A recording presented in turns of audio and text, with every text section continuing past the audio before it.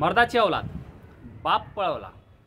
ढेकून मर्द औरंगाबादाची अवलाद अहमद शाह अब्दाली. ह्या शब्द मरा महाराष्ट्र महाराष्ट्राच्या राजकीय डिक्शनरीमध्ये ॲड करणारे उभाठा म्हणजेच उरलेल्या शिवसेनेचे अध्यक्ष श्रीमान उद्धव जनाब ठाकरे. नमस्कार मित्रांनो माझं नाव गोपाल काळे आणि तुम्ही बघत आहात द सेकंड ओपिनियन. मित्रांनो उद्धव ठाकरे यांच्याकडे वळण्याआधी मी तुम्हाला एक सिंहाची गोष्ट सांगू इच्छितो.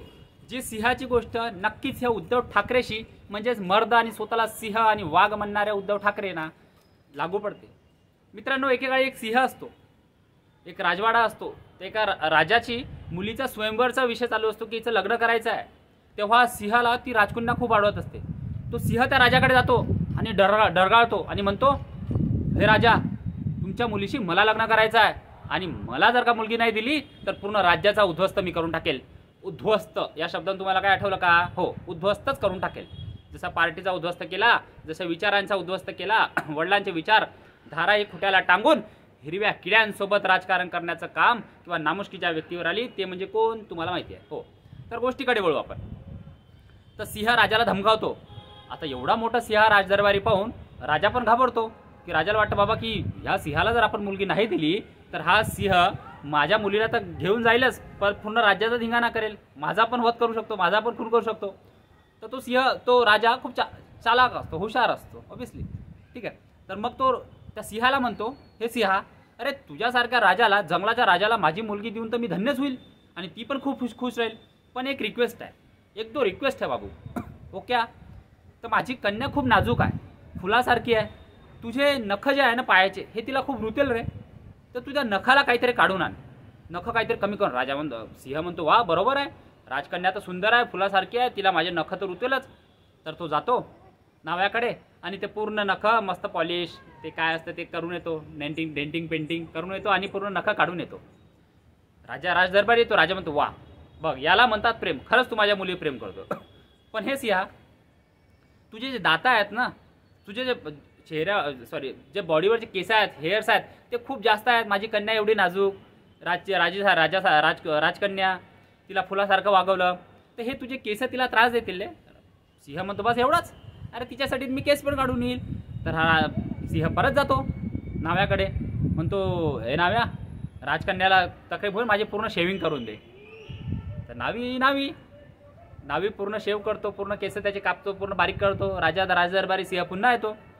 आणि सिंह राजाला म्हणतो हे राजा बघा मी म्हटलं होतं ना की मी राजा राजकारण्यासाठी काही करू शकतो तर घ्या. मी केस वगैरे सगळं क्लीन शेव करून आलो. राजा म्हणतो वा किती सुंदर दिसत आहे माझा जवाई होणारा. सिंहाचा कॉन्फिडन्स अजून वाढतो. पण राजा परत म्हणतो एक दू ओवर एक प्रॉब्लेम आहे बाबू.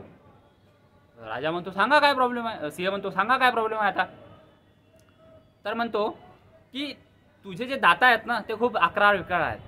खूप तीक्ष्ण आहेत. आता हे दातं माझ्या मुलीला रुतेल माझ्या मुलीला त्रास होईल. तर त्याचं काय?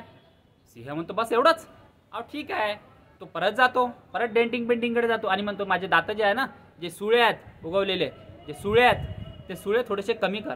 त्याला तीक्ष्ण आहेत ना त्याला मोबाईल गुळगुळ कर चांगलं असं. तर परत तो गुळगुळ करतो.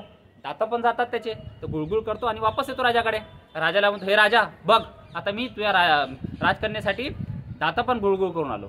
आता तिला ना दाता रुतेल ना प- माझ्या पंजाचे नख रुतेल ना माझ्या शरीरावरती केस आहेत. राजा म्हणतो अरे नालाय का आता निघ तू इथून पहिल्या गल्लीमध्ये.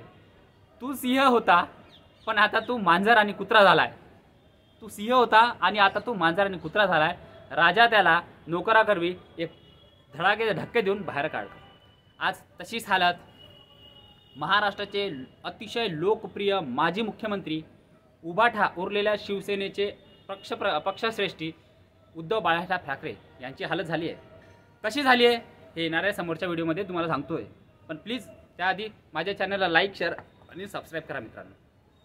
तुमचा सपोर्ट कमी होतो आहे चॅनल ग्रो करण्यासाठी मदत पण करा.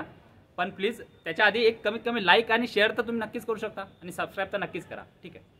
तर गोष्ट येतो उद्धव ठाकरेवरती. उद्धव ठाकरे आणि त्या सिंहाची गत एकसारखी कशी झाली आहे? उद्धव ठाकरे महायुतीसोबत असताना बी जे पीसोबत असताना तुम्ही त्यांचे फोटो बघा.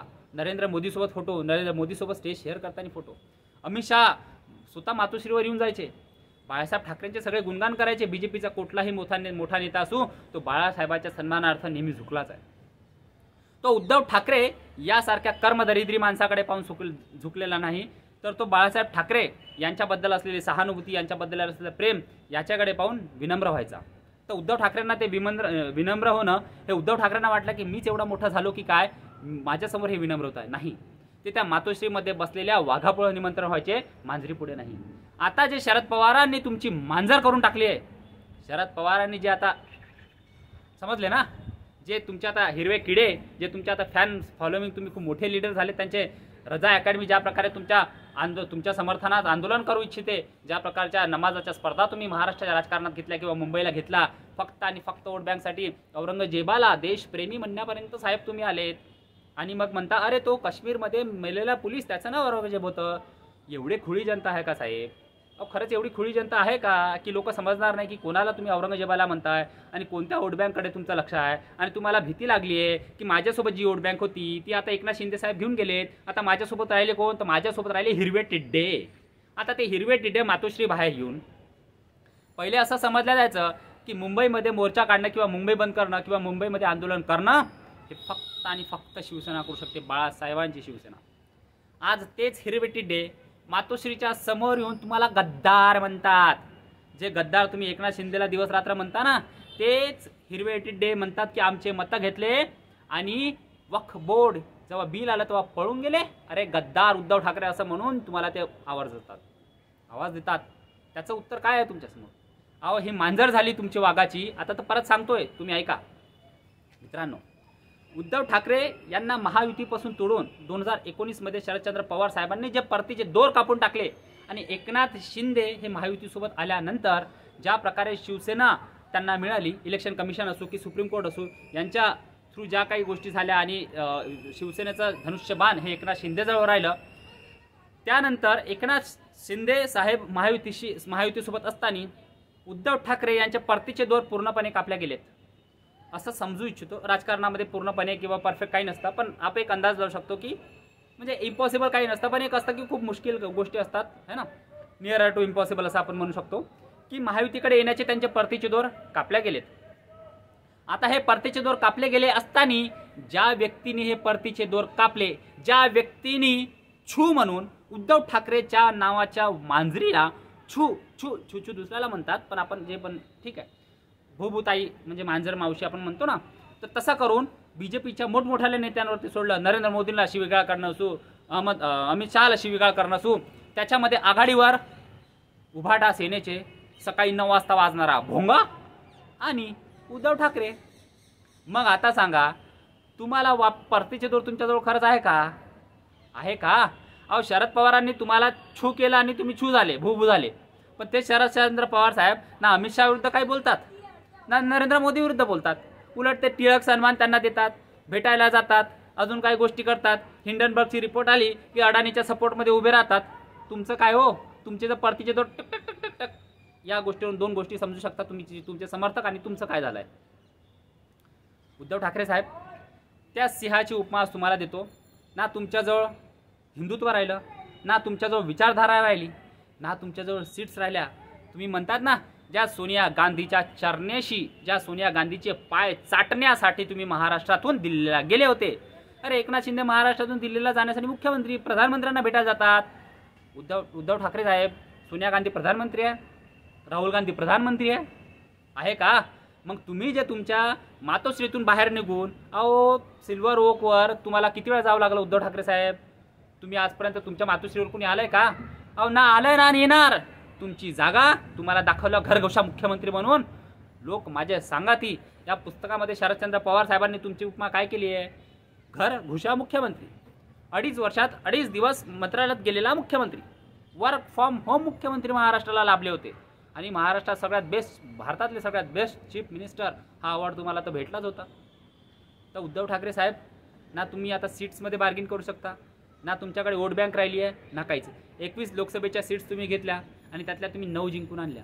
त्याच्यावरून तुमची पत किती तुमची अवकात किती आणि तुमच्या मागे मास म्हणजे लोक किती उभे आहे हे पवार साहेबांना कळलं. जळगाव लोकसभा तुम्हाला आठवत असेल? सहा विधानसभा क्षेत्र येतात. पाचमध्ये बी जे पी आघा आघाडीवर होती. एक फक्त मालेगाव ते बॉम्बस्फोटवाले मालेगाव जिथे हिरवे टिड्डे राहतात जास्त मोठ्या प्रमाणावरती. तिथली मतपेढ्या उघडल्या आणि सगळं लीड तुटलं आणि तिथे शिवसेना उभाटाचा कॅन्डिडेट जिंकला. याचा अर्थ काय?